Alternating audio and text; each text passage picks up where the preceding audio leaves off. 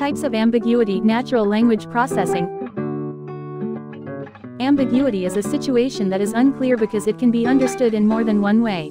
Also there are a few types of ambiguity. Types of ambiguity are lexical ambiguity, syntactic ambiguity and metonymy. Now let's talk about lexical ambiguity.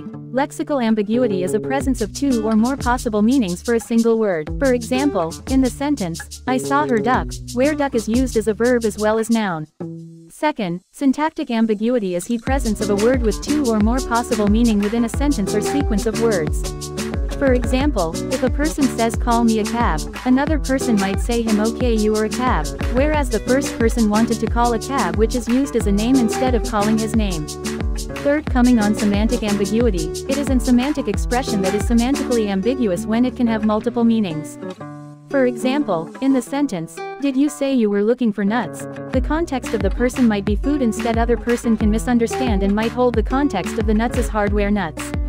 At last, metonymy. Metonymy deals with the phrases in which the literal meaning is different from the assertion.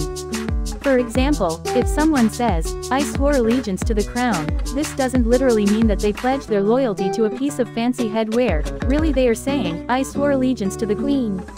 Subscribe for more and make sure to drop a like if you understand today's concept.